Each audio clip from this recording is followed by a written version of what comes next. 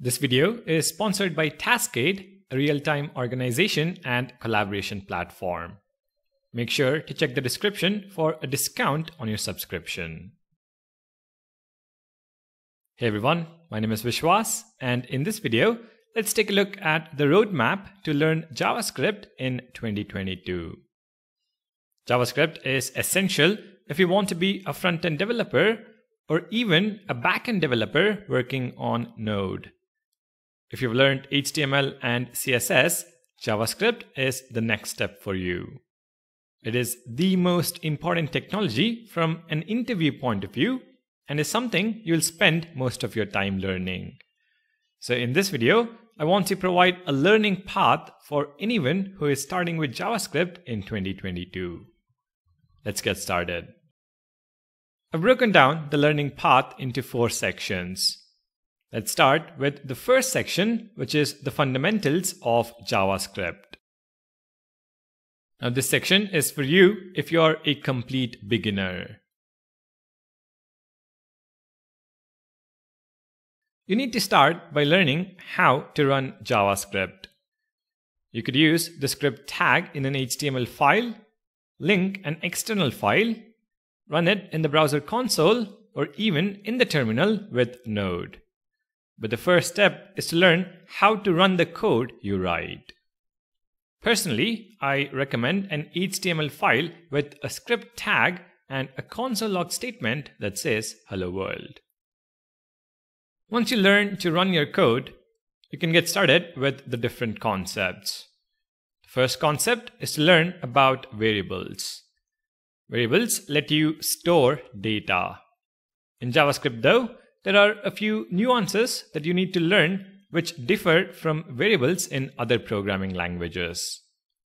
Start with variable declarations. Learn to declare with var, let, or the const keyword and understand the differences.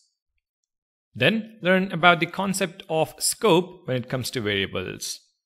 You have global scope, function scope, and block scope in JavaScript. You learn that var declarations are function scoped, whereas let and const declarations are block scoped.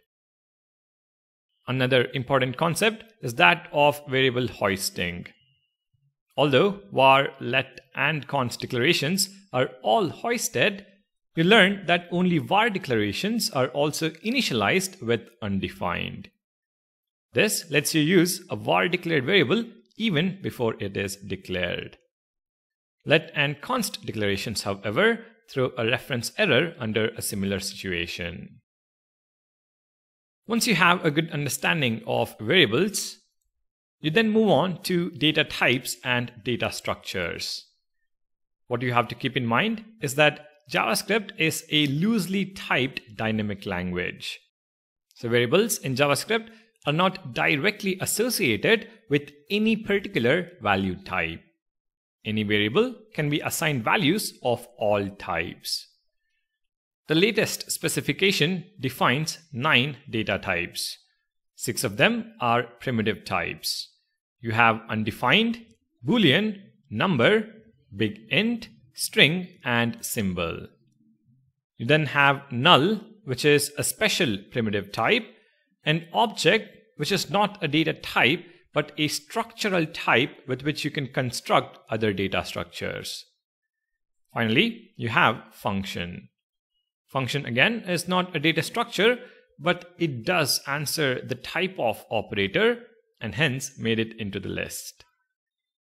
Like any other language, JavaScript also has a few built-in data structures that you can make use of. You'll learn about arrays, maps and weak maps, sets and weak sets, and of course the date object. A proper understanding of these will help you write better code. Once you understand the different data types, the next topic to focus on is type conversion. When writing code, you'll find yourself having to convert data from one type to the other. You can convert it yourself using a few methods that are available like to string, to boolean, and so on. That is called explicit type conversion. On the other hand, there's also implicit type conversion, where JavaScript itself will automatically convert the type to be able to run the code you have written. This has both advantages and disadvantages, but type conversion is definitely a topic to read about in detail. The next beginner topic is about equality. You must understand the difference between double equals and triple equals in JavaScript. It is also a popular interview question for a beginner. The next set of topics is common to other programming languages, so I'm going to quickly go over them. You have loops like while, do while, and for. You of course have the break and continue keywords that go hand in hand. You then have two more loops, namely for in and for of, which are helpful when iterating over a certain type of data. Looping is pretty fundamental to any language, so make sure you understand how they work. The next topic is about control flow, which again is nothing new if you have some programming experience. You have if else, switch, and the try, catch, throw statements for error handling. Next, you have expressions and operators. Here, you're going to learn about the different operators like assignment, arithmetic, logical, conditional, and so on. The last fundamental topic to learn is about functions. Start by understanding the difference between function declarations and function expressions. Then understand how to call a function and learn about function parameters and arguments. When dealing with arguments, learning about destructuring and the rest operator, which were introduced in 2015, is highly recommended. Then learn about scope when it comes to functions. How variables declared inside a function are not accessible in the global scope. The var keyword does not agree with that statement, but nothing to worry about in 2022. Finally, learn about arrow functions that offer a more concise syntax to write functions in JavaScript. If you've made it this far, that is awesome. Unfortunately, if you're a JavaScript developer, just the fundamentals are not sufficient. So let's now move on to the second section, which focuses on learning the advanced topics in JavaScript. You're going to start from where you left off in the fundamentals section, which is about functions and scope. You will now learn about scope when dealing with nested functions, about lexical scoping, about immediately invoked function expressions, and the revealing module pattern. Once you have a good understanding of scope, you can then move on to the concept of closures. You will understand that a closure gives you access to an outer function's scope from an inner function. Once you understand closures, a good tool to have in your pocket is function currying. It is one of those advanced techniques of working with functions that could definitely help you write better code. Next, you have the all important yet confusing topic in JavaScript, which is this keyword. You learn that this keyword is basically the execution context and introduces sort of a dynamic scope in the sense that you can call the same function with different values of this keyword. You'll also learn how to determine the value of this keyword using five simple rules. The rules are implicit binding, explicit binding, new binding, lexical binding, and default binding. Once you understand the rules, all confusion about this keyword will be cleared.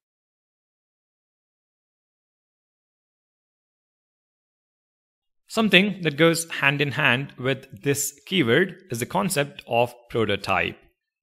You learn that every function in JavaScript has an object called prototype, which allows you to have shareable methods when creating instances of a function. You'll then learn about inheritance in JavaScript, which is possible because of the prototype and prototype chain.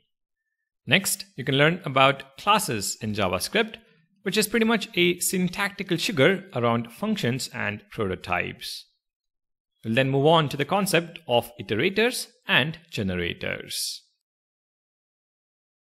Next, you will learn about event loop in JavaScript. If you ask me, every single JavaScript developer must know about the event loop in JavaScript. It is what will help you create a mental model about the other advanced concepts and is key to understand how the code you write will execute. The next topic to understand is async JavaScript. This knowledge is especially required when you're making that move from a junior developer to a senior developer role. First, you learn about the traditional methods JavaScript has available for running code asynchronously. Set timeout to run code after a set time, or set interval to run at regular intervals of time. Next, we learn about callback functions, which are basically functions passed into other functions as arguments and are invoked after some operation has been completed by the parent function. You will learn the drawbacks and about callback hell, which will introduce you to the concept of promises. Promises are a comparatively new feature that allows you to defer further actions until after the previous action has completed or respond to its failure. For example, wait till data is fetched from an API and then perform some action on the data received. Finally, you will learn about async functions and the await operator, which makes chaining promises simpler and easier to read. The last advanced topic you would want to learn is about the module system in JavaScript. You will learn how to split JavaScript programs into separate modules that can be imported when needed. You'll learn about module systems like CommonJS and ES modules, how to export and import modules, and also the distinction between default and named exports. With these topics in your pocket, you'll have a good grip on advanced JavaScript. The third section deals with client-side web APIs. Now these are topics you need to study along with the fundamentals and the advanced topics. However, I've created this as a separate section to let you know these APIs are not part of the JavaScript language itself. Rather, they're built on top of the core JavaScript language. First, you have the DOM. When writing web pages and apps, one of the most common things you'll want to do is manipulate web documents in some way. This is usually done by using the document object model, which is DOM for short. DOM is a set of APIs for controlling HTML and styling information that makes heavy use of the document object. This is something you should learn along with the fundamentals as quite a few front-end coding rounds during your interview rely on your knowledge of the DOM. Next, you have XHR and Fetch, which are APIs dealing with fetching data from a server. Learn this along with the advanced topics, especially async JavaScript. The third set of APIs deal with client-side storage. Modern web browsers have several different technologies that allow you to store data related to websites and retrieve it when necessary, allowing you to persist data long term. We'll get to learn about cookies, local and session storage, IndexedDB, and so on. The remaining two, which are APIs related to audio video and drawing graphics, I would not recommend with the initial learning path. However, if your work entails something to do with them, then definitely go for it. So that is the third section. Let's now take a look at the last section, which is to do with tooling and miscellaneous. There are a few tools that help you with your development and are required when working in a team.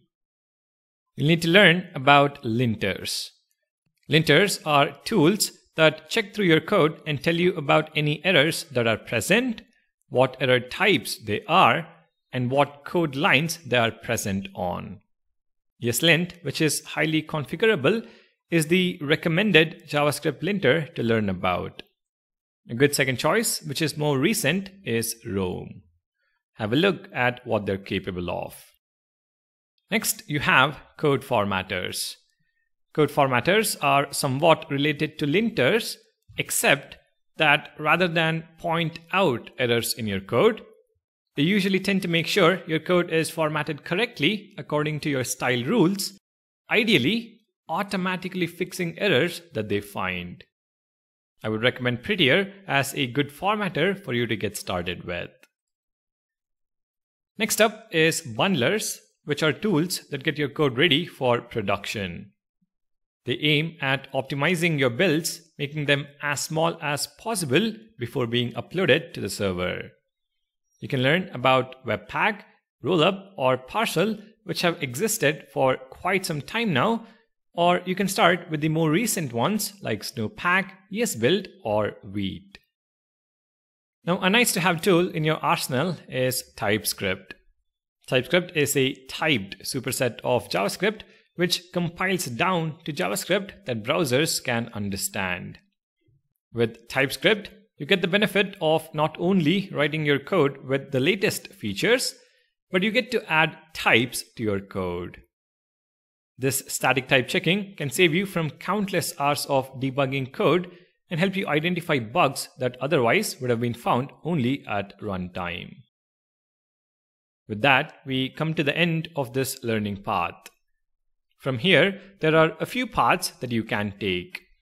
You could travel the road of frontend with libraries like React, Vue, Angular, Svelte, or even travel the road of backend with Node.js. But this pretty much is my take on the JavaScript roadmap for 2022. For me, this big picture is what I would have liked when starting with JavaScript. Hopefully, you find it helpful. Thank you for watching and if you found the video helpful, please leave a like and share the video with your friends and colleagues.